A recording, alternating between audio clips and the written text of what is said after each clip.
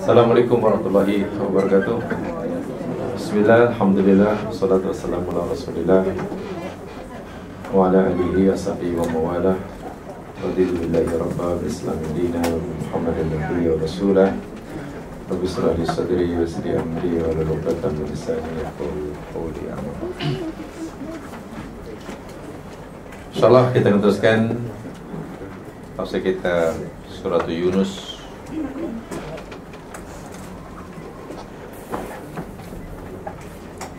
Dan Tahun lepas kita berhenti.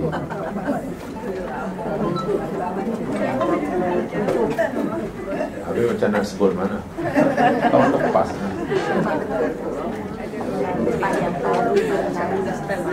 Kalau sebut bulan lepas tu Ini dari segi balabah kesannya lain Kalau saya sebut bulan lepas Itu nanti menunjukkan rasa yang kita masih muda Supaya kita merasa tak muda Saya kata tahun lepas Baru akhirnya Ya rupanya tu. Itu balagah tu balagah. Kita berhenti pada ayat yang ke-27 Sekarang kita mulakan ayat yang ke-28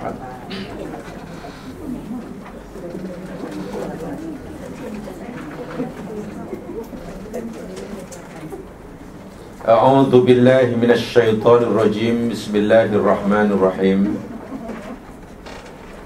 ويوم نحشرهم جميعا ثم نقول للذين أشركوا makanakum antum wa surakakum.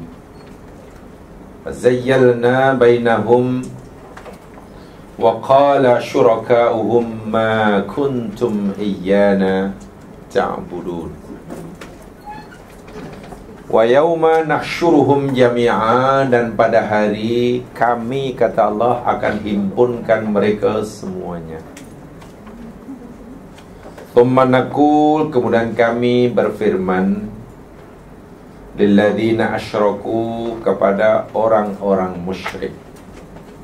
Makanakum antum ay lizimu fanakum. Diam di situ. Berhenti di situ wasyurakaukum dan sekutu-sekutu kamu. Ini sebenarnya bentakan ya ayat bentasuk. Mungkin makan aku ni kalau dalam bahasa Arab ini sebut isim fi'il amar. Namanya. Isim fi'il amar. Jadi terjemah makan aku bukan hanya tempat kamu. Mana? Diamlah kamu di tempat kamu. Maknanya Eh, diam di situ, jangan bergerak. Macam tu lah. Sebab ini bentakan. Mereka tak boleh pergi mana-mana. Diam di situ Fazayyalna Lalu kami pisahkan antara mereka Bainahum. Waqala surakauhum Dan berkatalah sekutu-sekutu mereka Mana Tuhan-Tuhan yang mereka sembah selain Allah. Kalau mereka sembah pokok, pokok akan berkata. Kalau mereka sembah lembu, lembu akan berkata pada penyembahnya. Jika mereka menyembah Ma'im Nabi Isa Nabi Isa akan memberitahu kepada pemuja-pemujanya. Begitulah Apa kata syuraka mereka? Ma kuntum iyana ta'budu. Tidaklah kamu Menyembah kami. Dahulu kami tidak menyembah kami. Maksudnya Dahulu kami ini sebetulnya Makhluk Allah yang tak layak untuk disembah Jadi kalau dahulu kamu menyembah kami Sebenarnya bukan kami yang kamu sembah Kamu menyembah hawa nafsu kamu. Sebab kami adalah makhluk-makhluk Allah Yang tak layak, tak berhak disembah. Artinya semua Tuhan-Tuhan buatan Tuhan-Tuhan buatan mana Tuhan-Tuhan yang mereka buat-buat lah. Bukan Tuhan betul Tuhan buatan. Bahkan ada yang instant Yang bingung nak berdoa pada Tuhan Tuhannya tertinggal di rumah macam mana Dia buatlah Tuhan ni semua nanti akan menafikan ubudiah mereka. Dan itu nanti. Sekarang satu persatu. Daripada awal wa yauma nahsyuruhum jami'a. Ah, ini sangat padat ya dia punya terjemahan, punya maksud. Al yauma nahsyuruhum jami'a. Pada hari apa tu? Kami himpunkan mereka semuanya. Baik, setakat itu aja dulu. Mas sekalian, kalimah hasyara hasyara Ya kalimah Arab ni ya, ada kadang kalimah ada uh, ada persamaan sehingga ada kemiripan, ha? maka maknanya pun mirip. Ada hasyara.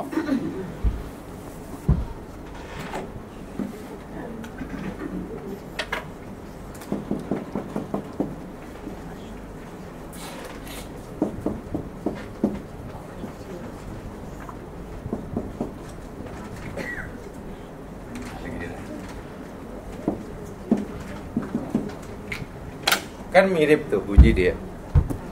Ada hasyara Ada hasara Sin kecil. Jadi pada hasyara Hasara Ada kha Sara Kha Apalah ada?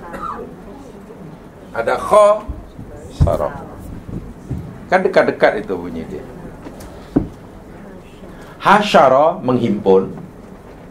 Hasyara menghimpun Hasara. Dibuang dia punya sin. Menyesal. Kecewa. Apa lagi? Dan yang semakna dengannya? Khasara. Rugi.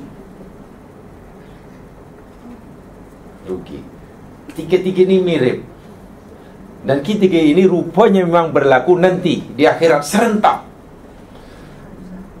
Okeylah. Bila Allah kata hasyara menghimpun Tempat Allah menghimpun namanya mahsyar. Mahsyar. Jadi mahsyar itu tempat perhimpunan. Dan mahsyar juga tempat mahsar Tempat kerugian. Mahsyar. Kalau dibaca mah syar pakai kha tempat rugi. Kerana semua rugi dan juga tempat mahsar. Tempat penyesalan. Tu jadi satu tu. Himpun di situlah semua merugi di situlah semuanya menyesal. Ya hasr hasrakan penyesalan. Ya hasratan 'alal ibad. La nakunana minal khasirin hanya saya tidak tahulah makna yang tepat daripada hasyara. Sebab hasyara maknanya bukan hanya menghimpun ya mas kalian begini ya kalau dari segi bahasa. Kan ini tadabur ya saya cuba menyampaikan setakat yang saya mampu lah hasyara ini yakni akhdun nas min amkinah muta'addidah ila makanin wahid Wasayutafu hadhil amkinah al-mutadidah man fiha min al-kafarah liyasiru fi makan alladhi sya'ahu Allah subhanahu wa ta'ala. Wa kullama iqtaraba an-nasu min makan min hadzal makan izdahamu wa dhalika sya'nu da'irati bi mahitiha. Wal mahitat ad-dakhilah fiha ila anta fil markaz. Wa anta idza nadhar ila mahitin wasin fi dairah wa hadiba dhalika la tulqa bihim markas fala saka annaka kullama tarabta minal markas fadawair tadi wa yahdusul al hasyru kalau dimelayukan lebih kurang.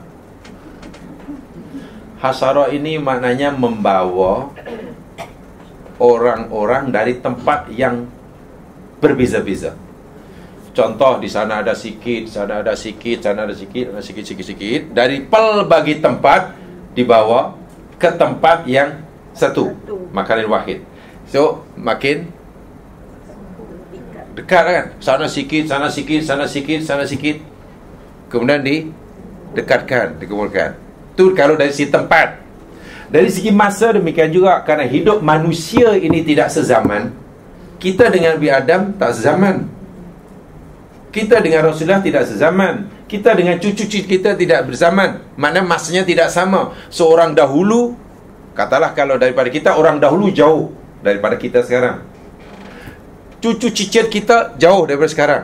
Pun di datangkan. Jadi datangnya uh, orang uh, yang dari itu daripada pelbagai tempat yang jauh daripada pergai masa yang berbeza-beza. Wah, makin dekat, makin dekat, makin dekat. Apa yang berlaku bila semua makin dekat, makin dekat? Tempat, masa, makin lapang atau makin sesak? Makin sesak. Itu namanya hasyarah. Orang asalnya ramai, berselera, luruh dikumpulkan, jadi satu makin terus. Jadi tempat itu pastilah makin sebab itulah dalam Al-Quran bagaimana sesaknya di akhirat Keadaan orang di akhirat ketika masar tadi Lihat dalam ayat ini. Ha, Di dalam surah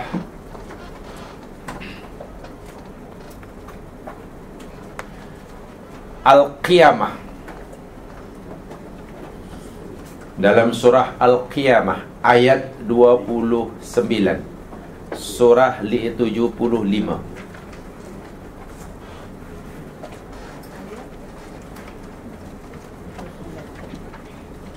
surah 75 ayat 29 tengok bagaimana keadaan manusia di akhirat ketika mahsyar jadi maksud saya hanya menjelaskan inilah jangan kita fahami hasyara atau mahsyar itu hanya tempat berhimpun. Hasyara menghimpunkan. Sesederhana itu bukan.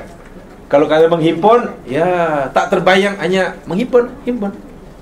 Tapi mana hasara itu benda yang nak dihimpun dalam hal ini manusia, tempatnya tidak sama. Berjauhan. Masanya pun tak sama. Kemudian di dikumpulkan di satu tempat di masa yang sama, makin sempat makin kumpul, kumpul maknanya tentu keadaan tempat makin padat, makin sesak. Bagaimana padat dan sesaknya Allah gambarkan dalam kiamat nanti tengok. Wal taffatis saqu.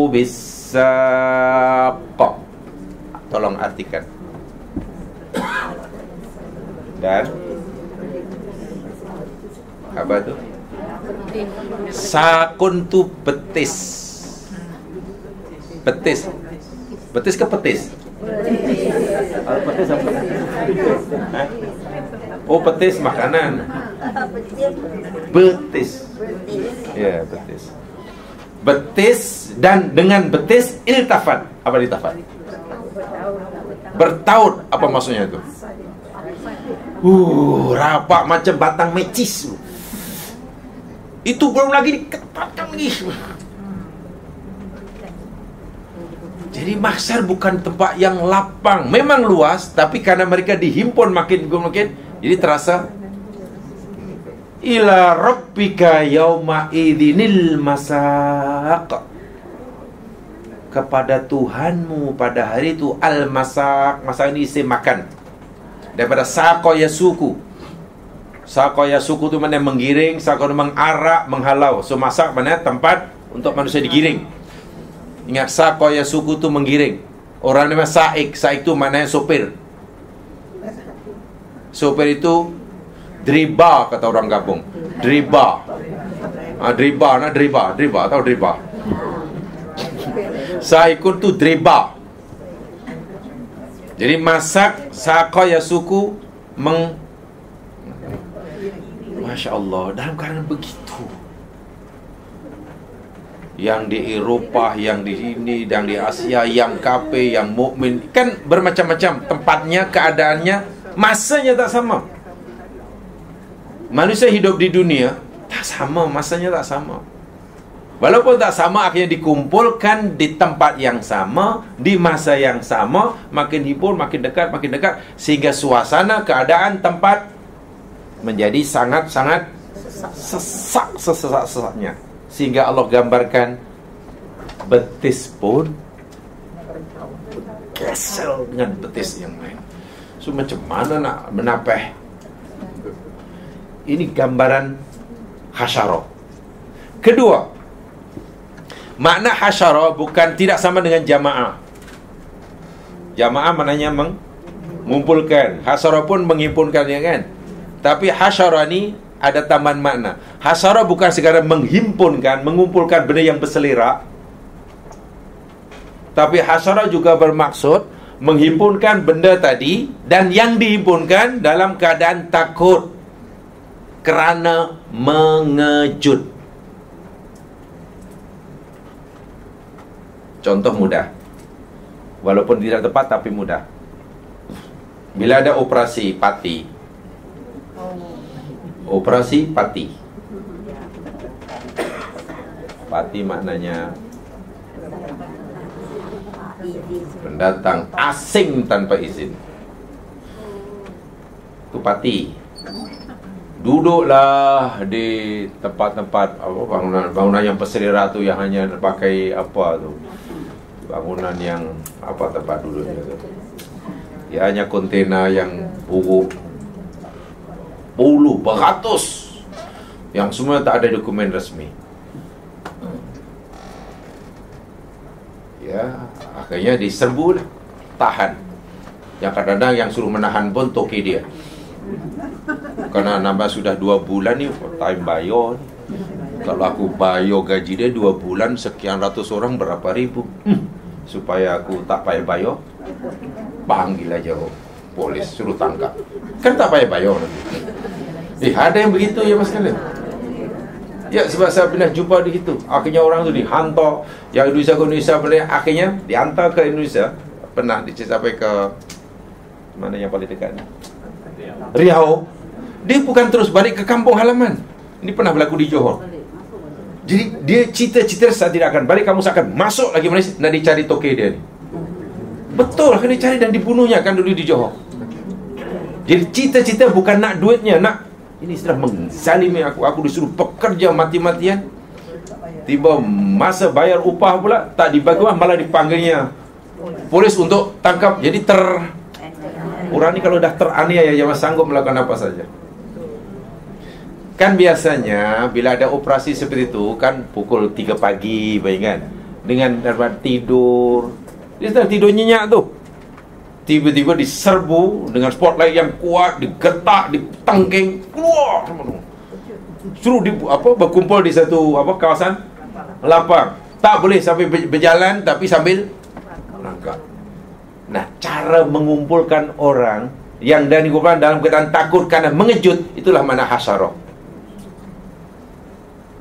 Jadi nanti Allah himpunkan manusia di akhirat ini mengejut dan semua yang dihimpunkan dalam keadaan takut. Tak mengejut macam mana Quran kata in kanat illa sayhatan wahidatan fa idahum jami'un ladaina muhdarun. Apa artinya dalam surah sini tu? In kanat illa sayhatan wahidatan Idahum jami'ul ladaina muhdurun. Tiadalah ianya kecuali suara yang sekali suara Tirakan tiba-tiba semuanya Muhdurun. Datang meng Jadi mengejut. Bangun dipindahkan daripada alam barzah Ke alam akhirat ni mengejut.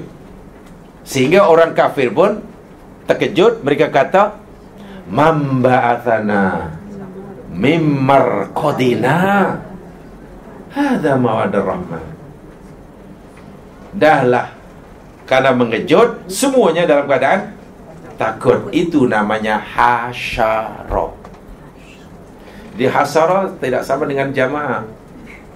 Jadi bila Allah kata yauma nahsyuruhum jami'a pada kami himpunkan semuanya pertama. Yang dihimpunkan itu berada tempat yang pelbagai. Hidupnya pada masa yang berbeza-beza kemudian dikumpulkan di tempat yang sama masa yang sama hingga sangat sesak mahsyar memang luas. Alam akhirat sangat luas. Tetapi keadaan mereka yang ditimbulkan ini merasa sangat sesak sehingga betis apa tadi? Ber uh, mengejut sehingga semuanya ketakutan. Ini yauma nahsyuruhum jami'an dan bagaimana keadaan mereka ketika dihimpunkan ini yang apa ayat pertama itu je ini satu ayat ya Maksud satu jumlah bukan satu ayat. Yauma nahsyuruhum jami'a itu dah satu jumlah. Itu sempurna belum tu ya? Jumlah itu. Dah sempurna kan? Ya. Kan sudah pada hari kami himpunkan mereka semuanya. Kan itu aja. Tapi bagaimana kaifa yuhsyarul ibad fi dzalika yaum? Macam mana nanti cara manusia ini dihimpunkan di akhirat?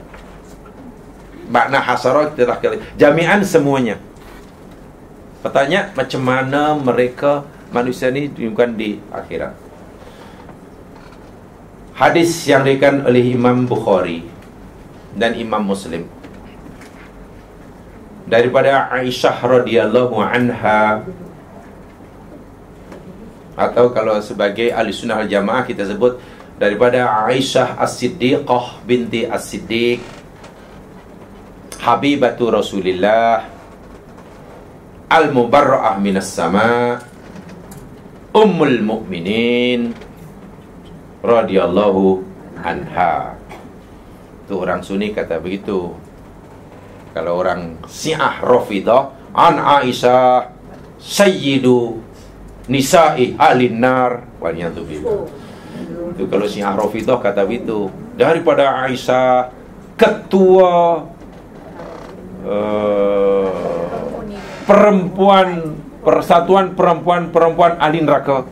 Kan kurang asam punya orang.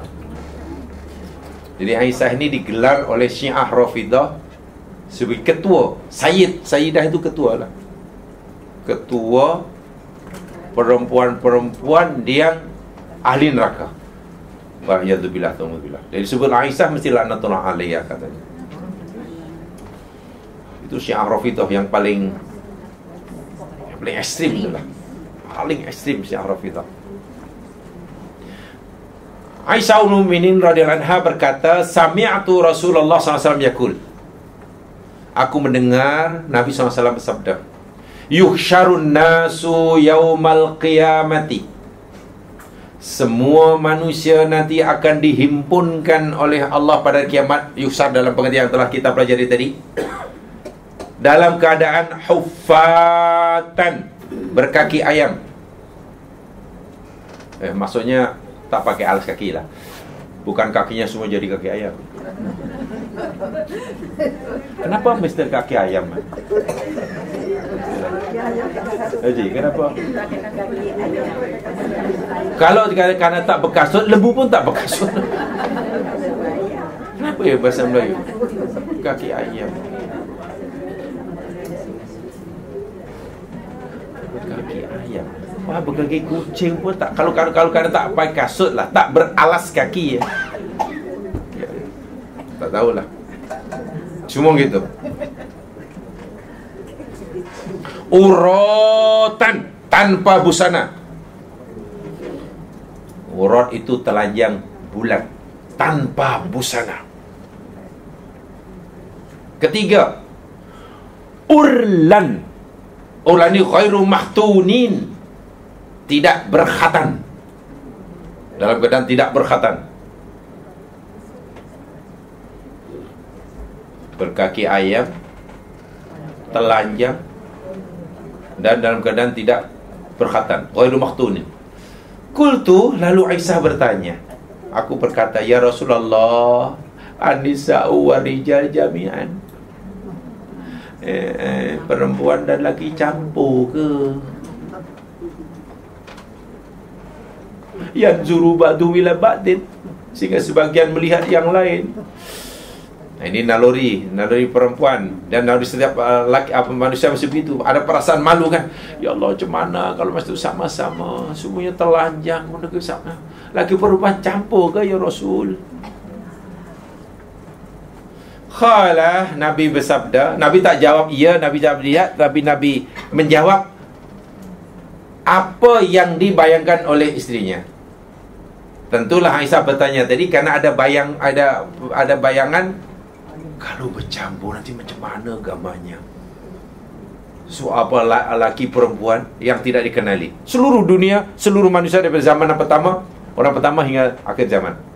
Ya Aisyah, Al-amru asyaddu Min an yandura ba'du ila ba'din. Wa Aisyah, keadaan suasana pada masa itu sangat dahsyat. Karena dahsyatnya keadaan sehingga tidak ada terlintah dalam fikiran seseorang mereka untuk melihat orang yang lain. Karena dahsyatnya keadaan. Dah tak terlintas, tak terfikir langsung. Maksudnya kalau kamu berfikir macam mana nanti kami tak malu ke? Tak ada orang terlintas nak tengok orang lain. Bukan pasal apa? Pak hanya kerana asyaddu. Keadaan sangat sangat sangat das. Al amru asyaddu min an yuhimmahum dhalik. Dalam hadis bukhari sahaja. Dalam muslim dalam uh, al-lafaz bukhari. Pada waktu itu keadaan sangat dahsyat sehingga seseorang tidak terlintas tidak ada keinginan walaupun sedikit untuk melakukannya. Untuk melakukannya. Ini. Ini keadaan di jadi berkaki ayam tanpa saurat benang pun menempel di tubuhnya dan tidak berkhatan. Maknanya betul-betul macam baru Ibnu Abbas ketika mengomentari hadis ini. Ibnu Abbas kata meriwayatkan daripada hadis Nabi SAW Innakum maksyuruna hufatan uratan uzlan Sesungguhnya kamu nanti akan dihimpunkan oleh Allah dalam keadaan berkaki ayam, telanjang dan tidak berkatan. Lalu Nabi membaca sepotong ayat daripada Al-Quran. Ini surah apa ni ya? Coba lihat Nabi membaca sepotong ayat Al-Quran.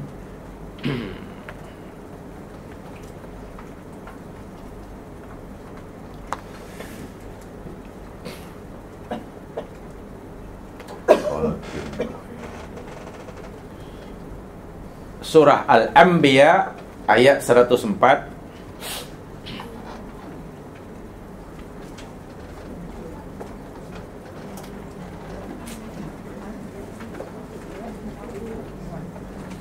Al-Anbiya 104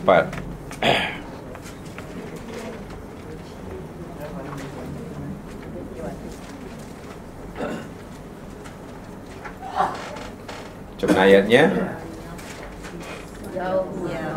Yawma natawis sama'a katayis sijilli lil kutub Kama bada'na awwala khalqin nu'idu. Wa'dan alayna inna kunna fa'ilin. Yawma pada hari pada saat natwi kami gulung kami lipat As-sama'a langit katayis sijil. Seperti lipatan sijil lil kutubi bagi buku.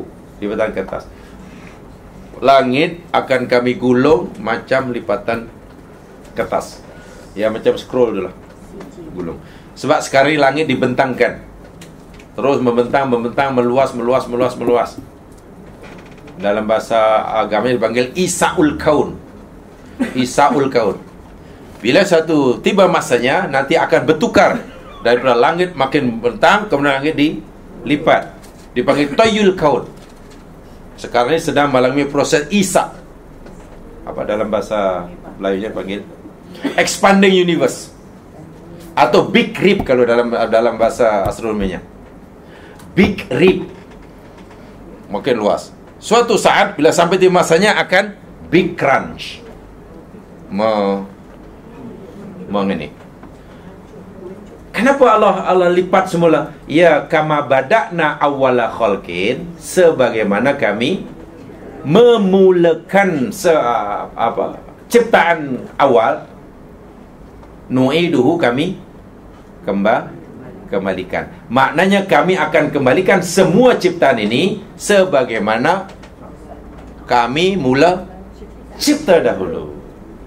Nabi baca ayat ini karena kita dahulu dicipta oleh Allah berkaki ayam Telanjang Tidak berkhatan Maka nanti pun dihibunkan pun dalam keadaan Seperti itu. Ayat ini kemudian dikomentari oleh ulama jamaah sekalian. Bahkan Ibnu Kathir juga mengomentari apa saja yang pernah tertanggal dari tubuh kita semasa hidup nanti di akhirat dikembalikan Contoh, katalah orang asalnya tidak berkhatan, kemudian berkhatan karena dibuang sebagian anggota bagian tubuhnya. Walaupun sedikit, nanti dikembalikan. Sebab itu Nabi kata, Burlan, tidak berkhatan. Masih hidup apa? Oh, masih hidup katalah pernah aksiden. Aksiden apa? Dia hilang tangan dia. Sehingga ketika mati tak punya tangan. Kenapa? Karena ketika umur 20 tahun dia aksiden, Kata hilang jari dia. Sehingga mati pun tak punya jari lah. Nanti di akhirat Dihimpunkan Jari itu di Kembalikan. Itu maknanya Kama Apa tadi? Kama badakna awala khalkin Nu'iduhu. Sebagaimana kami Mencipta mula-mula dahulu Kami cipta kamu ini ada jari Kemudian kamu hilang jari. Masa kamu berjumpa aku mati Kamu tak ada jari. Tapi nanti masa kamu Kami hidupkan di akhirat Jari dan semula Bahasa mudah. Ini dalam apa namanya tafsir kebanyakan begitu Nu'iduhu Jadi kalau orang lahir Katalah muka dia macam tu. Muka dia apa Warnanya hitam. Akhirnya dia ingin putih Setelah umur 40 tahun jadi putih Masa lahir hidung kemek. Kemudian Dimancung-mancungkan Masa lahir mata sepit. Lalu buat operation Pasti sejari Di Dibesar-besarkan Masa mancung eh, Masa lahir muka Ulat Macam bulat Lalu beri Dibuat segi empat Orang yang buat ini Nanti bila dibangkit Walaupun ketika mati rupanya masih putih Hidungnya masih mancung Kan? Bulu kening sudah tidak ada. Karena sudah lama dibuang Muka dah tak sama dengan masa. Nanti bila dibangkitkan di akhirat Mukanya dibalik Dikembalikan menjadi bentuk yang Asal semasa. Lahirlah awalah khalqin. Dahlah dikembalikan menjadi bentuk yang asal Perbuatan mengubah ciptaan Allah itu dosa.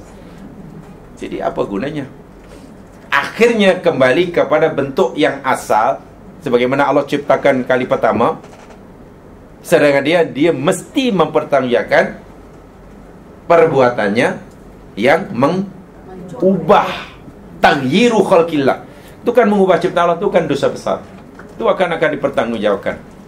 Jadi sia-sia Kalau nak mancungkan Dia ingat bangun nanti mancung. Kemek balik. Yang hitam ingin putih Yang putih ingin Ya apa yang tertanggal dari kita yang kita ubah? Ini yang dimaksudkan. Nabi sendiri yang memberikan yang apa jelaskan seperti ini. Jadi kama apa dibangkitkan ternyata karena kita lahir begitu. Tak ada lah orang bila itu dah pakai kasut Adidas. Lahir pakai necktie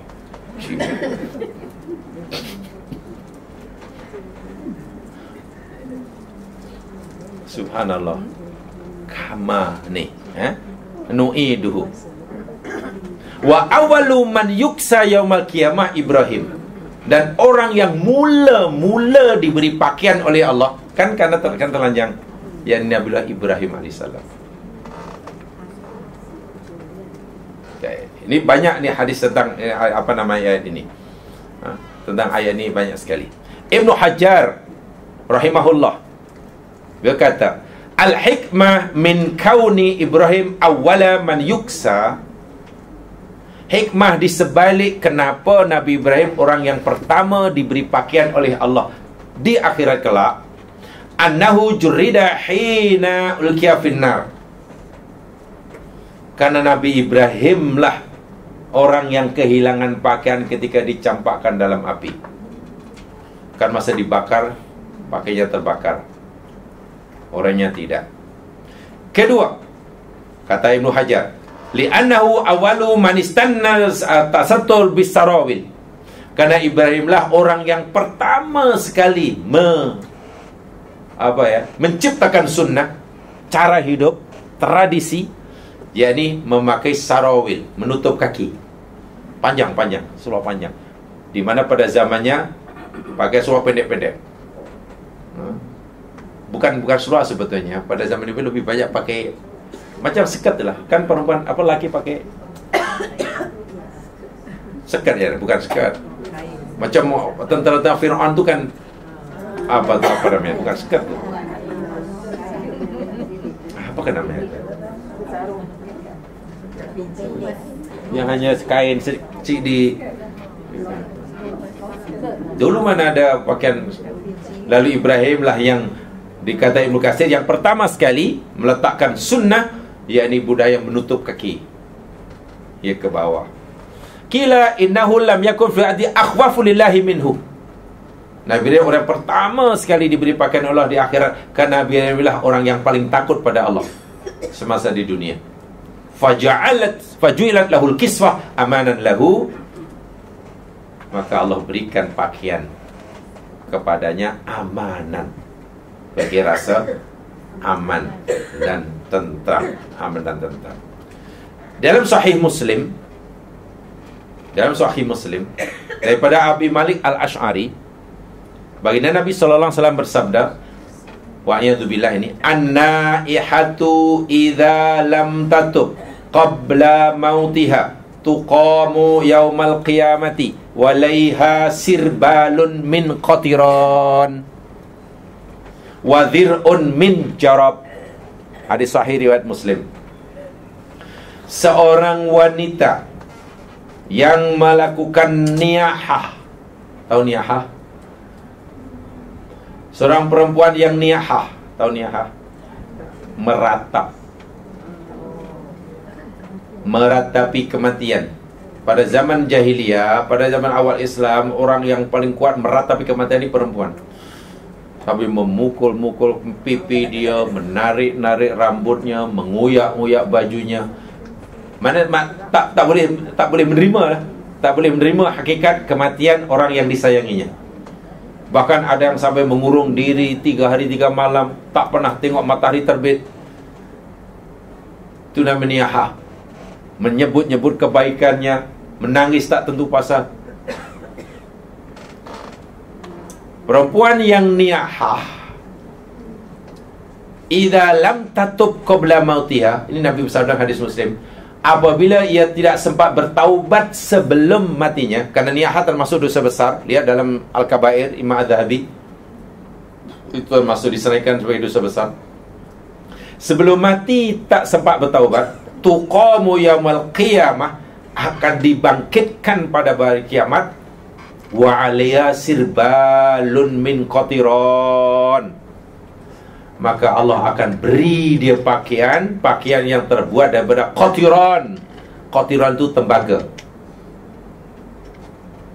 Tembaga. Ini panas ya bukan tembaga tembaga yang tembaga ya nama dia. Yang warna kekuning-kuningan adalah apa namanya tembaga ya qatiran on min jarab Ini susah nak bayangkan di pakaian akhirat ya. Zir'un itu pakaian zira' min jarab. Jarab itu makna asalnya kudis. Kudis, tahu kudis? Jadi pakaiannya, bahannya terbuat daripada kudis. Pakaian tembaga yang panas dan kudis. Bahkan orang di neraka pun Allah kata pakaiannya terbuat daripada api.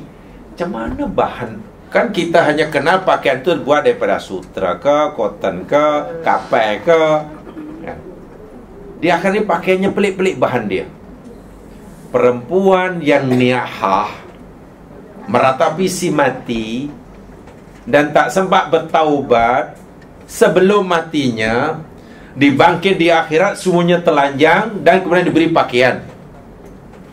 Dan pakaian yang diberikan itu sesuai dengan amalnya. Itulah kata Ibnu Katsir. Uh, apa namanya? Uh, dalam di dalam apa Sahih Muslim ini. Pakaiannya disesuaikan dengan amalnya. Jika perbuatannya itu dosanya kerana niyaha, dosa niyaha diberi pakaian yakni terbuat daripada tembaga yang panas dan kudis. Kudis boleh jadikan bahan pakaian. Macam mana rupa dia? Wallahu alam. Jadi panas campur gatal. Kudis kan gatal ya.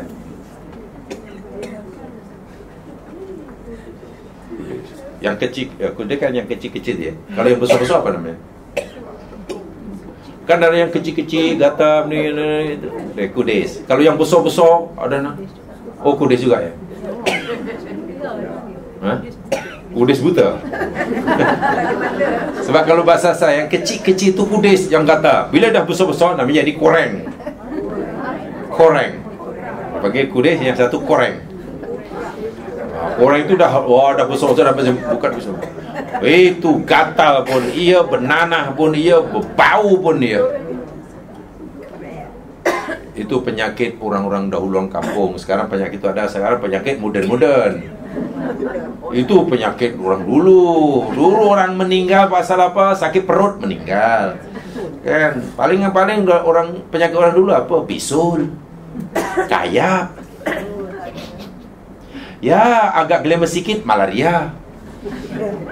Ya, mungkin glamour sikit TB. Sekarang benda-benda kan tak ada kan? Penyakit malaria, bisul, tu dah kurang lah. Dulu meninggal pasal bisul aja. Kerana kayap mati. Sekarang glamour penyakit apa? Cancer. Stroke. Uh, glamour. Glamour sekarang. Jadi makin makin glamour makin glamour. Takkan seorang ahli korporat terkenal meninggal pasal apa? Kaya. Kan malu. Koprat mesti meninggal apa? Wih meninggal. Apa? Oh dia. Attack tu masih biasa sekarang. Meninggal macam mana? Meninggal dia ketika ia melakukan business trip Meletup private jet dia. Wah dia ada glamour, glamour, glamour. Meninggal pun ada glamour tak glamour pula. Zaman moden ni. Pelik sungguh. Subhanallah. Sampai begitu sekali pakaian dia innal mayyit yub'athu fi siyabihi allati yamutu fiha. Itu hadis sahih itu. Riwayat Abu Daud Ibnu Hibban dari disahihkan oleh Albani. Sunya mayit itu nanti akan dibangkit oleh Allah. Semua dibangkit dalam keadaan telanjangnya. Selepas itu diberi pakaian. Itulah tapi pakaian yang diberikannya sesuai dengan amalnya. Setelah Nabi bersabda Sehingga si mati itu si mayit Nanti akan dibangkitkan dan akan diberi pakaian selepas mereka semuanya telah nanti ya ini fidhabil ladzi yamutu fiha. Pakaian dengan dengan keadaan ketika ia mati. So itu bila orang matinya tadi sebab dosa niyahah pakaiannya seperti itu.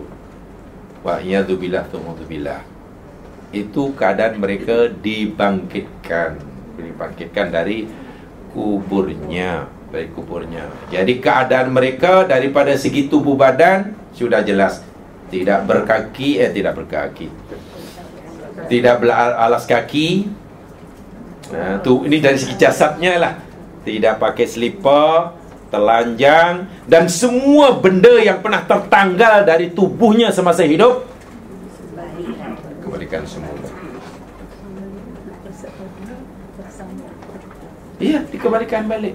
Maknanya rupa dia rupa yang paling asal masa lahir lah. Kalau hitam hitam lah.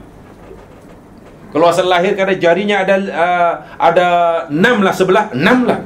Walaupun yang satu dahulu pernah dibuangnya. Kalau dahulu katalah apa namanya saya tadi hidungnya tak mancung, ya kembali banyak baliklah sebab kan dia mancungkan. Dahlah kembali pada bentuk asal sementara memancungkan hidung itu dosa. Ha, tengok. Jadi kan hanya tambah Tagir itulah yang sebab hidup kita ni tidak berhenti di sini. Hidup di dunia bukan berhenti dengan sebab kematian. Kematian bukan akhir kehidupan. Bukan. Kematian adalah awal kehidupan yang sebenar. Saya ulangi, kematian bukan akhir kehidupan. Tapi kematian adalah awal kehidupan yang sebenar-benarnya. Sekarang belum yang sebenar-benarnya. Sebab kalau susah hari ini, esok boleh jadi senang. Kalau senang hari ini, esok betul jadi susah. Sekarang ini, bila dah meninggal, bila susah, susah memanjang. Bila senang, senang memanjang. Sebab itu kehidupan yang sebenar baru bermula bila orang mati. Selagi belum mati, mana belum mengalami kehidupan yang sebenar-benarnya hidup. Kehidupan sekarang ini akan berakhir dengan kematian. Tapi kematian bila kita mati nanti orang yang kematian kematian akan berujung dengan tidak kematian berujung dengan kehidupan. Kehidupan di sini ber, berakhir dengan sebab itu kalau orang berfikir tentang kehidupan pasti takut. Sebab ujungnya mati. Sebenarnya orang berfikir tentang kematian akan apa bersikap optimistik. Ada harapan karena ujungnya akan kehidupan sebab itu fikir banyak-banyak tentang mati supaya kita hidup. Kalau kita fikir banyak-banyak tentang hidup, kita akan takut sebab mati, mati, mati. Fikirlah apa yang hidup. Lembu hidup, esok-esok mati itu. Kita sembelih. Pokok hari ini kita tanam, satu tahun dah eh, membesar, mati juga. Jadi setiap orang yang lahir itu menuju kematian. Sebab itu Imam Ali kata, Demi Allah, setiap aku memikirkan kehidupan, aku temukan kematian di ujungnya. Tapi setiap kali aku fikirkan kematian, aku temukan kehidupan di akhirnya. Jadi Imam Ali lebih banyak berfikir tentang mati sehingga ada rojak, ada harapan, ada kebahagiaan. Tapi kalau berfikir tentang hidup, yang ada ujungnya takut, takut, takut. Ya terpulang pada kita, pilih yang mana. Itu tubuh badan, jasadnya. Bagaimana pandangan orang, pandangan manusia, keadaan pandangannya semasa dibangkitkan oleh Allah, dihimpunkan oleh Allah. Pandangan mereka dinyata oleh Allah dalam surah Al-Qamar. Coba lihat dalam surah Al-Qamar ayat yang ketujuh.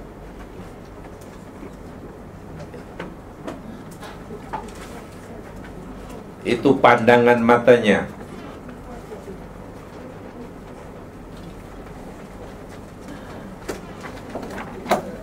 Keadaan mahsyar. Adakah matanya ceria? Adakah matanya menarik? Adakah pandangan matanya berjeling-jeling? Pandangan mata di akhirat nanti Al-Qamar ayat 7 Hush khasha'an absaruhum yakhrujuna minal ajdathi ka'annahum jaradum muntashir khusya'an apa artinya? Tunduk. Tak ada yang berani mengangkat muka tak ada berani yang matanya tengok kanan jeling sana jeling sini jadi mata keranjang itu rupanya hanya berlaku di dunia. Di akhirat tak ada mata keranjang. Mata bakul itu hanya di dunia. Keranjang kan bakul. Semua tunduk Tak berani nak tengok kanan nak Pandangan semua tunduk Ketakutan. Yakhrujuna minal ajdas. Mereka keluar daripada kubur pindah di alam barzah ke akhirat itu ka'annahum jaradum muntashir seolah-olah seakan-akan mereka itu seperti lalang jarad muntashir yang bar ini cabaran ilmu yang ini masih perlu digali, perlu dipelajari. Ha, sini cabaran kita belum dapat memahami. Sebab itu gunakan ka'anna kerana ini huruf tashbih jemaah sekalian. Jadi ayat ini ayat tashbih. Ya. Jadi keluar ke keluarnya perpindahnya manusia dalam barzah ke alam akhirat ke padang mahsyar Allah samakan ada persamaan dengan belalang yang ber di mana segi persamaannya mesti ada aspek persamaannya ini yang susah nak nak kajinya baik pan mata mereka tunduk semua Wajah mereka macam mana? Muka mereka itu mata, pandangan mata. Tak berani tengok kanan, tak berani tengok nya tunduk aja. Sementara wajahnya, mukanya dinyata oleh Allah dalam surah Taha ayat 111.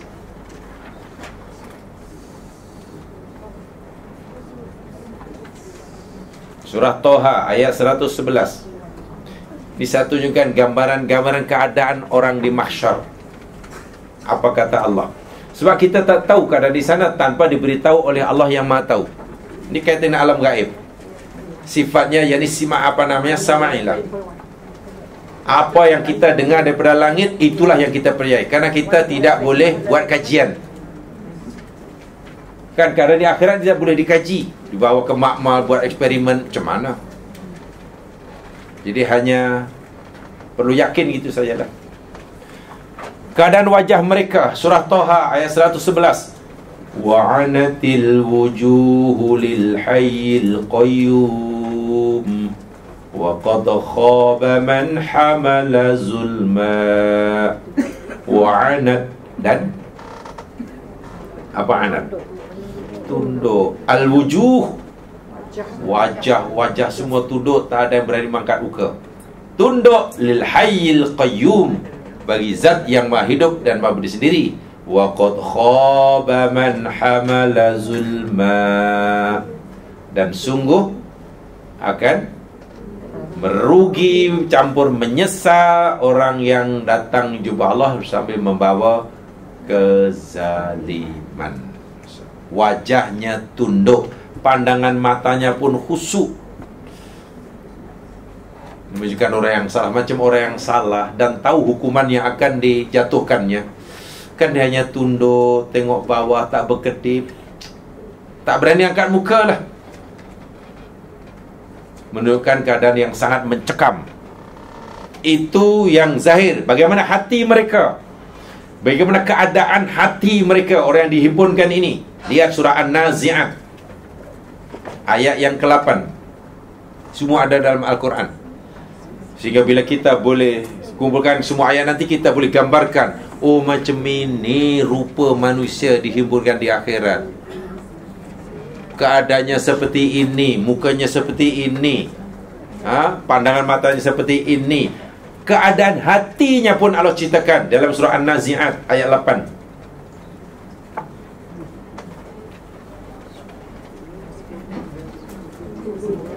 قلوب يومئذ واجفة قلوب يومئذ واجفة asalnya yauma'idzin qulubun wajifah atau qulubun wajifatun yauma'id ah jadi hati-hati mereka pada itu yakni hatinya pada itu wajifah apa wajifah Wajifani ittarabat.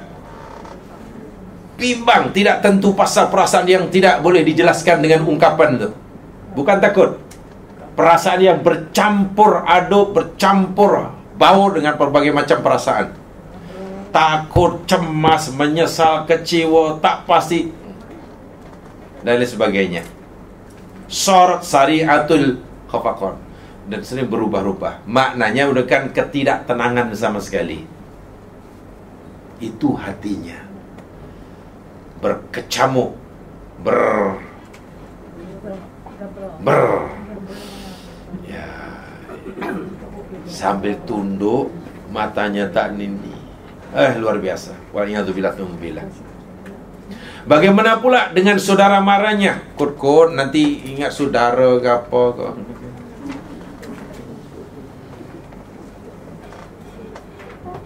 Di dalam surah Al-Mu'minun Ayat yang ke-101 Mungkin dahulu pernah kawan di dunia kalau sedih adalah kawan menghibur. Kalau kita sakit adalah abang menjenguknya. Kalau kita lapar adalah anak sedikan makanan. Kalau kita nak pergi tak ada kendaraan adalah kakak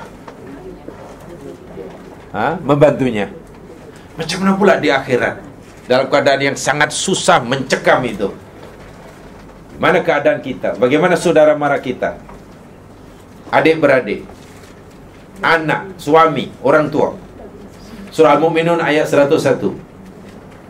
فَإِذَا نُفِخَ فِي السُّورِ فَلَا أَنْسَابَ بَيْنَهُمْ يَوْمَئِذْ وَلَا يَتَسَاءَلُونَ Fa idza maka apabila nufikha telah ditiupkan fisur fala ansaba bainahum yauma id. Maka tiada ansab. Apa ansab? Hubungan nasab usara sudah lupa tak ada sama sekali. Orang tidak lagi dah peduli kakak ke adik ke anak ke bapa ke. Suami isteri walaupun dahulu dia pernah berjanji sehidup semati di dunia udah macam Romi dan Juli macam Sampek dan Intai. Di dunia kemana-mana dah macam Belangkas. Tapi masa itu la ansaba bainahum. Tengok ya itu lanya itu la nafiyah li jinsi la nafiyah li jinsi Artinya hilang saya putus sama sekali hubungan nasab walaupun sedarah satu DNA. Mak bapa boleh putus kalau tidak sama akidahnya. Nabi Nuh tak boleh buat apa-apa terhadap anaknya yang kufur. Nabi Nuh, Nabi uh, apa? Lut tidak mampu melakukan apa pada istrinya. Nabi Ibrahim tak boleh buat apa-apa kepada bapanya. Nabi Muhammad tidak mampu buat apa-apa pada Abu Lahab yang dahulu sangat menyayanginya. La ansaba wala yatasaalun. Maka mereka tidak saling bertanya. Tak ada, tak ada masa nak tegur menegur. Tengok bayangkan ini satu kesedihan lagi. Kalau kalau saudara marah pun sudah tidak peduli. Saya pernah bagi contoh begini ya. Jawab sekalian, kalau ada seseorang yang sakit, eh sakit di hospital, kemudian tak ada orang yang merawatnya, yang menziarinya, karena dia hidup sebatang kara. Pukul 3 pagi dah semua, nurse pun tak ada semua tidur. Dia perlukan bantuan karena anak. Kan tak ada orang yang menziari karena hidup sebatang kara. Itu sedih ke tak sedih? Tak ada orang menziari karena hidup sebatang kara. Sedih ya? Yang ke B sakit juga. Tak ada orang yang melawannya, tak ada misalnya silakan anaknya ada enam. Dia ada dia punya enam orang anak. Adik beradik ada tujuh. Tapi tak seorang pun lawatannya. Sedangkan dia perlukan bantuannya. Sedih ke tak sedih? Mana lebih sedih? A atau B? Yang kedua. Iya. Yang pertama jelaslah Ialah nak hargakan siapa memang hidup sebatang kara. Rasa je lah. Yang kedua tu Ya ilah ilah aku ni sebenarnya ada enam orang anak Kenapa tak peduli. Orang lapar Nak makan Tapi tak ada makanan. Okey ke tak okey? Lapar. Nak makan tak ada makanan satu hari puasa, enam hari. Sedih kan? Pasti sedih. Lapar nak makan tak ada makanan pasti sedih. Yang kedua, dia nak dia lapar, nak makan, makan banyak tapi tak boleh makan. Macam mana agaknya? Yang kedua tu lebih nanya. Sebab itu bila Allah kata pada hari itu la ansabalahum. Huh, itu dah lagi satu punca siksaan. Ada nasab tapi tak berguna. Saya kata tadi, kalaulah tak ada orang yang merawatnya semasa karena hidup sebatang kara, itu pun sudah sedih, sudah susah, sudah menderita. Lebih menderita lagi, dia sebenarnya punya anak yang ramai, masih punya adik beradik. Tapi tak seorang pun nampak batang hidungnya. Sebab itu bila Allah kata la'an sabar, itu Allah ingin memberitahu pada kita akan ada tambahan siksa. Jadi rasa tersiksa itu bertambah.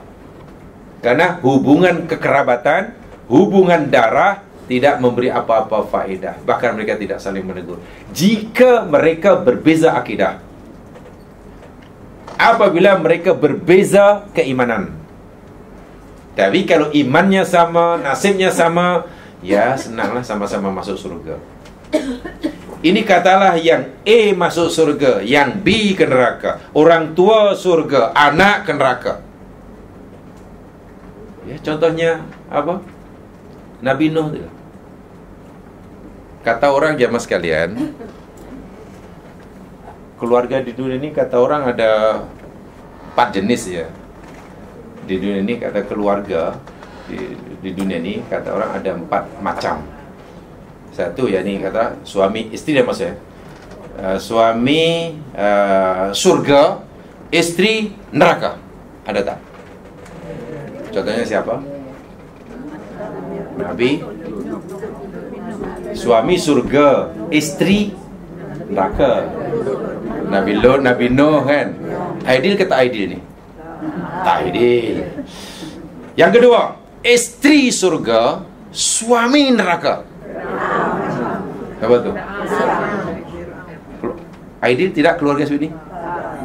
Tak ada kan? Tak, saya ingat tak ada yang suka punya keluarga macam ni lah.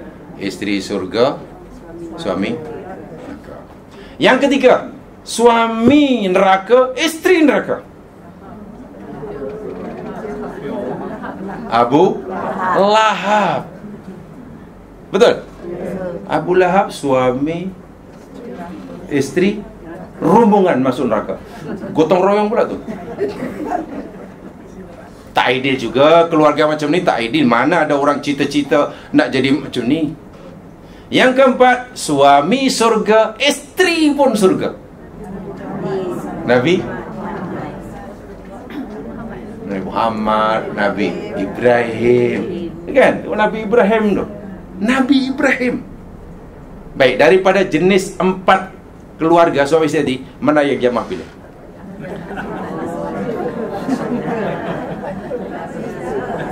cita-cita jadi keluarga yang seperti mana yang keempat Nabi Ibrahim kan betul yakin tapi Nabi Ibrahim istrinya dua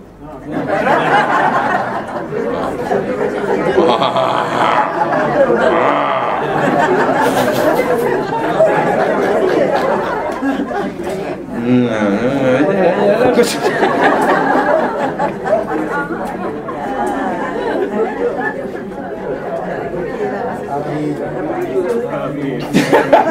不中，巴唧巴唧，阿敏，可能。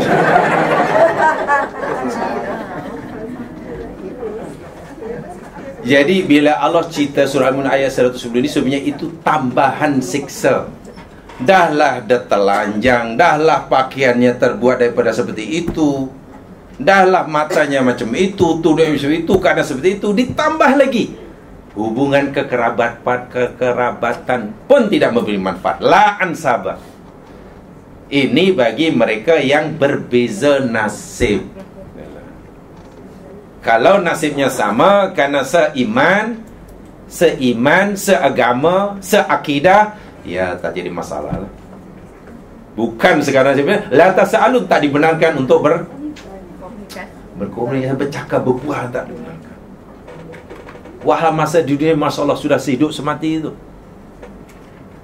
Rumi dan Juli kan Laila sampai Majnun tu. Bayangkan tu. Si Laila sampai Majnun tu Wa'iyadzubillah Kemudian bagaimana pula mereka uh, di dihimpunkan di neraka ini uh, di di akhirat ini. Jamaah sekalian di akhirat nanti manusia cara Allah menghimpunkannya ini terbagi menjadi tiga gulungan. Manusia di akhirat dihimpunkan menjadi tiga gulungan. Ini sesuai dengan hadis Nabi riwayat Turmuzi daripada Abi Hurairah hadisnya Hasan. Hadisnya Hasan.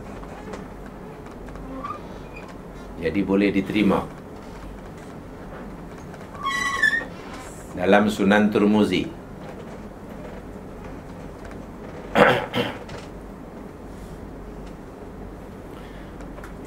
Rasulullah sallallahu alaihi wasallam bersabda daripada Abi Hurairah ya.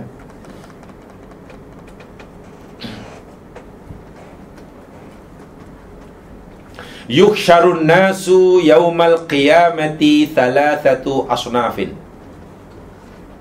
Manusia akan dihimpunkan oleh Allah pada hari kiamat Thalathatu asnafin Tiga gulungan Tiga kumpulan tiga grup.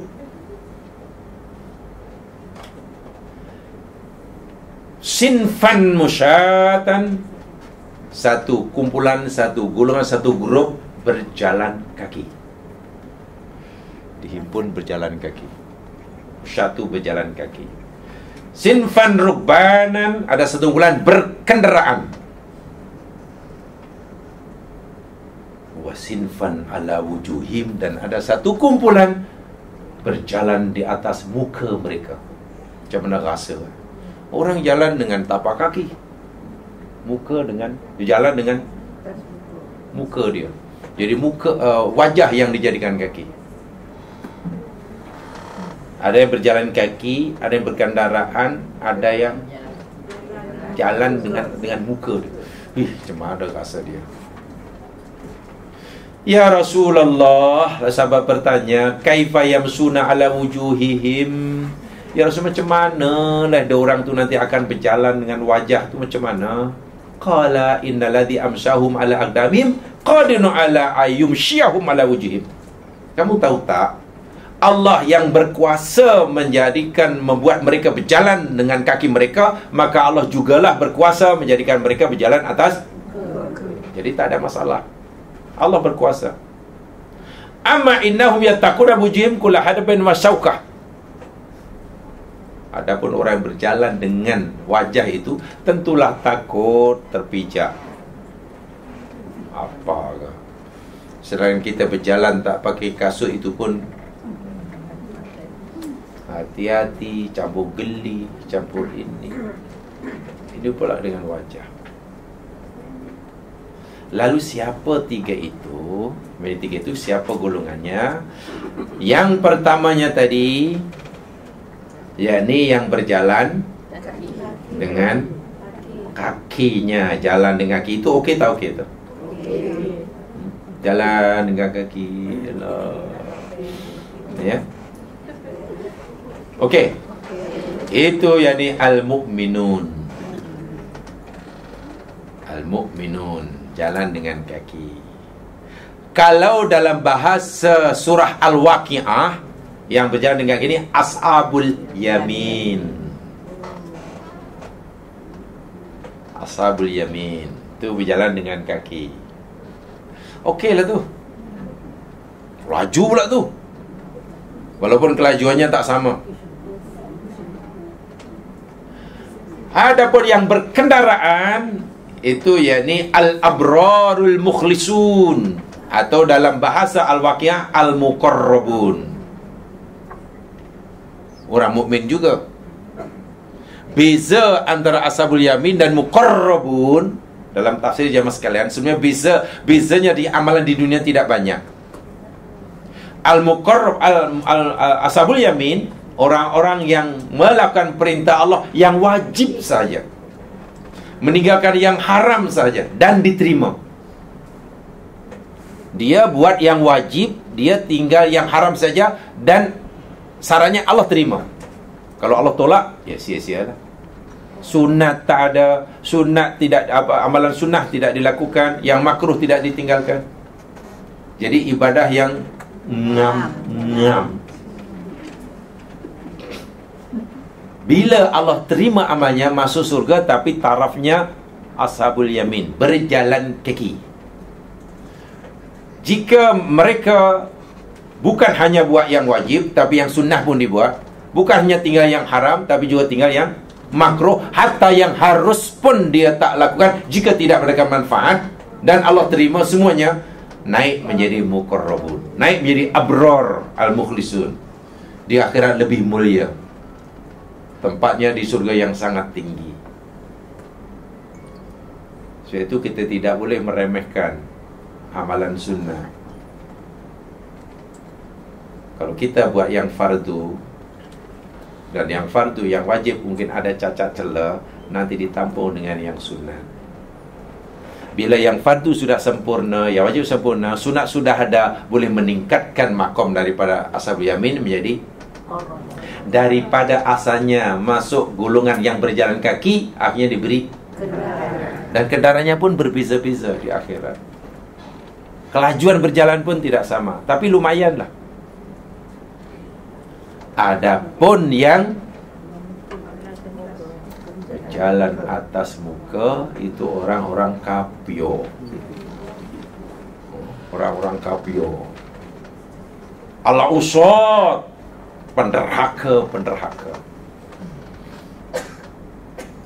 Hingga matinya tidak sempat bertaubat. Itu hadis Nabi sallallahu alaihi wasallam. Jadi jumlah yang banyak itu Nabi bagi menjadi tiga sahaja. Keadaan di akhir ini sangat-sangat dasar. Kedasaran pertama dari kalimah hasara itu pun dah dasar. Yaksur itu sini sudah dasar. Sebab makna hasara tadi sangat luas. Susah nak dijebakkan dalam bahasa apapun. Sebab makna asal yakni menggambarkan bahawa ada benda yang dikumpulkan yakni berselerak tempatnya jauh, saling berjauhan, masanya tidak sama, Lalu dikumpulkan Makin kumpulkan Sehingga tempat itu terasa sempit Karena yang dibuat semakin dekat Begitu dekatnya Sehingga betis pun bergeser Antara satu dengan yang lain. Itu itu dah menunjukkan ke apa Siksaan. Keduanya Hasarat tadi yakni menghimpun dengan cara mengejut Karena dipindahkannya daripada alam Barzah kalau akhirat ini Tiba-tiba Bayang terkejut. Contohnya orang kafir terkejut.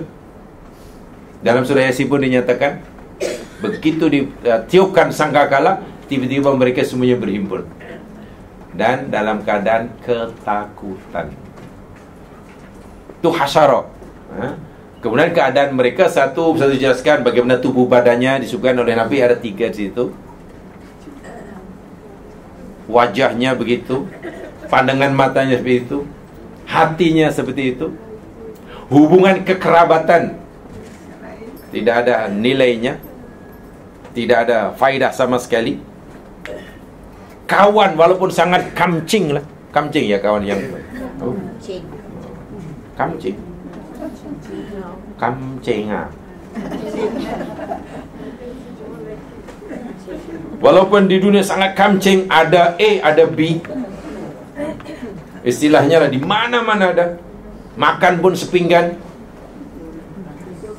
Makan sepinggan. Dah nama kamcing tu mana kalau dah kawan kamcing tu. Jika persahabatan yang sangat akrab itu tidak berdasarkan takwa, di akhirat jadi musuh.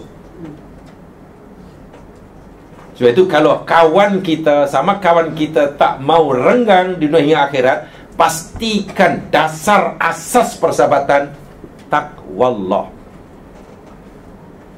Apa dasarnya? Lillah.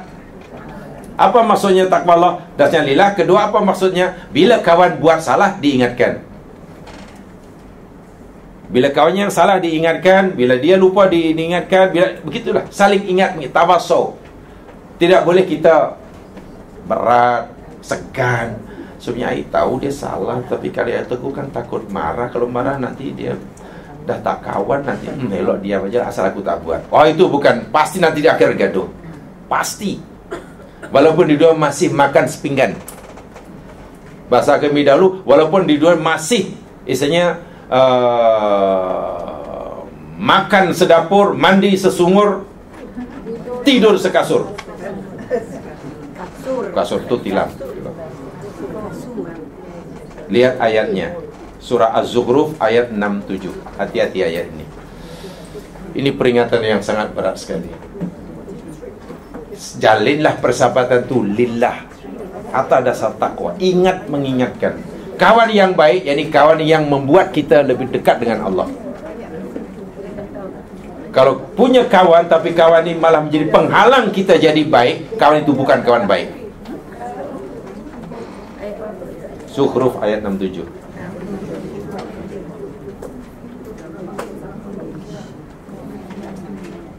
Tengok bahasa dia. Kalimat yang dipilih oleh Allah luar biasa. Idhim ba'duhum li ba'din adu illa al-muttaqin. Al-akhilla apa akhilla? Khalil, Khalil. Oh, yang mana Khalil ini bukan hanya sahib tu.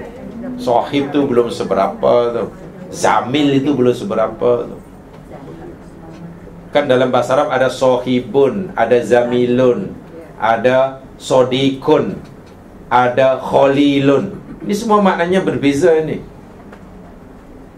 Walaupun terjemah Melayu sebenarnya teman-teman, teman, kawan, kawan, kawan, kawan. Akhirlah bahkan Nabi Ibrahim pun Allah kata Khalilullah. Surat persahabatan yang Itulah paling ish, paling apa tu dah. Maknanya apa? Dua apa? Dua jiwa dalam apa? Sehati sejiwa Atau dua jiwa dalam satu badan Kawan yang macam itu pun Yauma'id pada hari itu Pada hari kiamat Di dunia dah khalil dah Tapi pada hari kiamat Ba'duhum li ba'din adu. Sebagian mereka Menjadi musuh. Boleh bergaduh di akhirat. Illal muttaqin. Tengok. Kecuali yang Kecuali persahabatan atas dasar takwa. Takwa itu daripada kalimah Waqayaki wikoyah Wakoyaki wikoyah maknanya menjaga, memelihara Jangan sampai kawan ini terjerumus Tersentuh api neraka. Bila itu, bila kawan baik kita itu melakukan perkara Yang menyebabkan Ia dapat kemurkaan Allah Kita ingatkan. Suatu hari bila kita yang lupa pula Dia ingatkan. Kita bengkok, dia luruskan. Dia lupa, kita ingatkan. Dia salah, kita betulkan. Itu namanya. Dan kita tak boleh berat mulut berat menang takut tersinggung. Oh itu bukan kawan sejati itu kawan yang sejati bukan kawan yang hanya pandai kipeh-kipeh ya kipeh-kipeh. Saya seronok sungguh jo kawan apa yang saya buat dia setuju je. Seronok. Sentiasa sentiasa support saya lah. Saya inilah kawan sejati. Awak lah kawan sejati saya. Saya tak pernah kecil hati. Apa yang saya buat semuanya. Tapi dengan yang seorang tu Eh, rimah aku berkawan Dulu okey, sekarang rimah berkawan dia. Sikit-sikit kalau Allah Ta'ala. Sikit-sikit kalau Rasul SAW Sikit-sikit kalau Rasul tak boleh Nabi kata boleh. Sikit-sikit kalau Allah. Sikit kalau Rasul. Ih, rimah aku. Wah itulah kawan yang sebenar Yang nanti kita akan cari di akhirat. Bukan yang Kipah-kipah Sebab itu kalau kita ingin semuanya Masuk ni kena gotong royong je. Maksudnya tak boleh nafsi-nafsi. Tak boleh nafsi. Kan kewajipan kita kan? Kewajipan kita. Ini. Jadi jangankan hanya Sahabat. Ini siapa? Oh ini sahabat. Ini siapa? Ini asdiqah Asdiqah ini siapa ni? Oh ni Zumala. Jangankan hanya sahibun Hanya sodikun Hanya zamilun Khalilun pun Masa di dunia Maksudnya Khalilun Di akhirat boleh jadi musuh. Kecuali Atas dasar takwa. Jadi akhirat ni boleh membalikkan keadaan lah. Akhirat ni boleh membalikkan keadaan 100% 180 degree. Orang yang dahulu di dunia mungkin dianggap hina oleh masyarakat Di akhirat tiba-tiba jadi mukorrabin Bilal ini kan pernah wih, disiksa luar biasa oleh tuannya ni. Apalah nilai Bilal dalam pandangan orang kafir? Semulia apa pandangan orang kafir terhadap apa namanya Abu Darda umpamanya. Abu Dhar Al-Ghifari tak ada nilainya. Tapi di akhirat berbeza pandangan masyarakat kepada Abu Jahal jadi orang tak semua orang yang di dunia dimuliakan oleh masyarakat di akhirat dimuliakan oleh Allah belum tentu. Dan tidak semua orang yang di dunia dianggap tidak ada nilainya dalam pada masyarakat di akhirat pun tidak ada nilai belum tentu. Sebab yang menilai sebenarnya adalah Allah Subhanahu wa taala. Akhirat boleh membalikkan. Rafi'ah khafidah rafi'ah dalam surah Al-Waqiah. Hari kiamat itu salah satu sifat dan cirinya yakni khaf khafidatun rafi'ah merendahkan dan meninggikan. Maknanya sangat luas itu. Satu di antaranya dengan bila berlaku kiamat nanti, mana kawasan yang tinggi direndahkan, mana yang rendah di sehingga bumi akhirat rata. Ada yang mengatakan di akhirat nanti orang yang dahulu dianggap tinggi mulia dalam pandangan masyarakat Allah hinakan. Sebab orang yang dianggap hina oleh masyarakat Allah karena yang menilai Allah Subhanahu wa taala. Jadi akhirat itu tempat yang boleh membalikkan keadaan 100%. 100%. Ya contohnya ini. Daripada akhirat boleh jadi ada. Boleh jadi musuh. Jadi kalau ingin berkekalan, ansabnya berkekalan, akhiratnya berkekalan, apa lagi tadi? Uh, keceriaan wajah berkekalan. Ya, kita boleh mengekalkannya. Ya, ini dengan modal at-taqwa. At-taqwa. Masih banyak sebenarnya berkaitan dengan keadaan yauman nahsyurhum jami'an ini. Nahsyurhum jami'an. Beberapa hadis-hadis yang perlu disampaikan. Tapi sampai setakat itu saja hadis-hadis yang saya sampaikan berkaitan jumlah yauma suruhum jami'an. Selepasnya nanti ceritanya. Jadi itu keratan ayat. Jumlah tapi belum ayat. Mudah-mudahan menjadi peringatan pada kita dan itu pasti kita alami, masa itu pasti kita alami. Hanya sekarang ini Allah masih beri kebebasan untuk kita memilih masuk golongan yang mana. Itu saja. Keadaan yang macam mana? Sebab benda itu pasti. Nak musyad, nak berjalan kaki kah, nak rukban yang berkendaraan kah atau yang ala wujud wa iyadzubillah billah itu semua dah. Sebab hanya tiga itu saja. Mukarrabun ashabul yamin ashabul shimal. Tidak ada yang lain. Tidak ada. Ya. Ya. Istilah lama tidak disebut kerana akhirat kekal. Jadi jawapannya kekal. Jadi macam mana nak nyebut angka bila akhirat itu kekal satu. Yang keduanya, kalau kalau kita membayangkan mungkin lebih mudah, kalau satu hari sama dengan seribu tahun. Kalau satu hari sama seribu tahun, kalau sepuluh hari Kalau sendiri akhirnya kalau seribu, seribu hari Mana sama dengan Sejuta tahun Jadi macam mana nak bayangkan itu Jadi Susah Apalagi bila akhirat itu kekal Jadi katakanlah Ini katakanlah ya Katakanlah di padang mahsyar sebelum dihisap, sebelum masuk neraka, sebelum masuk surga, diputuskan oleh Allah, katalah situ situ selama katalah 10 bilion tahun umpamanya. Katalah prosesnya 10 bilion tahun, katakanlah. Nilai 10 bilion tahun tidak ada zaman sekarang. Sebab apa? Akhirat itu kekal. Okey, berapa peratus nilai 10 bilion tahun berbanding kekal? Tolong cari. Tak ada nilai lah. Infinity kan kosong. Sebesar manapun nilai angka, bila didarafkan dengan kosong, pasti jawabannya kosong. Saya tu kalau 13 bilion tu lah. Sekejap sebab selepasnya kekal. Tiada nilai sama sekali. Lainlah kalau di akhirat itu katalah di akhirat itu selama katalah 500 apa 100 bilion tahun. Itu masih ada ada nilainya lah. 100 tahun pun ada nilainya. Tapi sebanyak selama mana pun waktu sebanyak mana pun sebesar mana nilai bilangan daraf dengan kosong nilainya kosong. Nah kosong itu namanya infinity Jadi kalau dikatakan berapa lama Jawabannya susah Karena itu bukan lagi ilmu matematik. Karena di sana di waktu tidak ada lagi. Yang kekal itu macam nak sebut waktu ya. Jadi kalau jumpa Wih lama tak jumpa. Ah, Itu tak ada tu. Tak ada pertanyaan Teguran ahli surga. Wih lama tak jumpa Apa khabar Tak jumpa. Macam mana boleh lama tak jumpa? Lama tu? Lama tu di sini. Di sini ada bahasa lama, sekejap, kan? Kemarin. Nanti tu di sini. Di sana, eh, lama, berapa lama kayaknya? Apa kamu? Tak ada.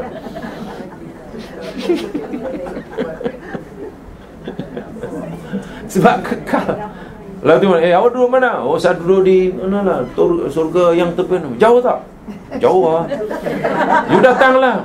Malah lah jauh lah Berapa jauh? Berapa lama? Tak ada Istilah jauh dekat tidak ada di surga ini Sebab Saya pernah nyatakan dahulu Ini tafsir Ar-Razi ya Nikmat surga dengan dunia ada perbezaan kata Ar-Razi Ini ketika beliau mentafsirkan surah Ar-Rahman Nikmat dunia Kalau kita nak dapatkan nikmat dunia Kita mesti pergi mendekat kepada nikmat tersebut. Contoh kalau kita nak buah mangga, kita mesti keluar berjalan mendekati buah mangga itu, baru dapat mangga. Tanpa kita sedari, ketika kita petik buah mangga, dekat buah mangga, kita sedang menjauhkan diri daripada buah petis. Betul? Petik. Apa? Petik. Kan? Ketika kita nak papaya, pergi dekat lagi kita dekat dengan papaya tapi kita sedang menjauh daripada pisang umpamanya. Artinya kita setiap kali nak dapat nikmat kita mesti bergerak mendapatkannya. Sebab itu penat. Di surga kata Imam Razi ketika menafsirkan surah Ar-Rahman, salah satu surah Ar-Rahman, wajana jannah dan bukan kita yang mendekat, nikmat itu mendekatkan kita. Jadi tak ada istilah jauh dan dekat. Nikmat itu yang bergerak mendekat kita. Sebab itu Minta apa saja Terlintas saja Dapat Nak pergi tempat mana pun Dah sampai Kalau saya gunakan bahasa yang mungkin Agak tepat Tapi susah difahami. Ahli surga nanti jamaah sekalian Boleh berada di mana-mana Tanpa perlu pergi ke mana-mana. Coba fahami itu. Itu kesimpulan saya. Dahulu diajar begitu kesimpulannya Ahli surga boleh berada di mana-mana tanpa perlu pergi ke mana-mana. Di dunia kita boleh berada di mana-mana tapi kita kena penatnya luar biasa. Jadi memang dah lain. Buminya lain. Jadi macam mana nak memahami itu? Boleh berada di mana-mana tanpa pergi ke mana-mana. Jadi istilahnya, you mana duduk? Jauh tak? Jauh lah. Sesekali lah datang ke tempat air Di sana lah, jauh, penat Itu bahasa dunia Bahasa akhirat tidak ada sih Wallahu alam sanakallahu wa bihamdika asyhadu an la ilaha anta astaghfiruka wa atubu ilaik. Wassalamu alaikum illa amanu salihat wa tawassaw bil haqq Assalamualaikum warahmatullahi